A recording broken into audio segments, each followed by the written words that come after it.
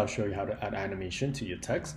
Select the text, come up here to animation, and here you can see all types of animation that you can add to your clip. First, you want to select the in animations, and to show you an example, let's go with the slide up. How to get so on the clip here, you see this little arrow on the clip that indicates the in animation.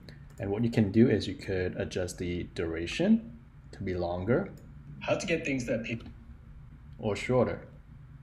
Okay, so that's how you adjust the duration. And for the out animation, it's the same thing. All you gotta do is come to out and you can select one of these to apply to as the out animation. Let's select slide right. So that will be the out animation. And again, here you can select the duration of the slide out animation. So let's say you want to select 1.5 second. This is what it will look like. Okay, so that's how you speed up or slow down the animation.